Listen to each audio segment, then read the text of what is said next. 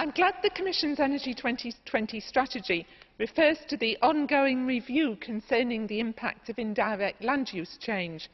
It's vital the Commission meets its obligation to come forward with a proposal on this by the end of this year, both to allay widespread public concern that some biofuels currently on the market may not be producing a net reduction in greenhouse gas emissions, but also for the sake of industry which is developing innovative processes whose added value deserves to be recognised.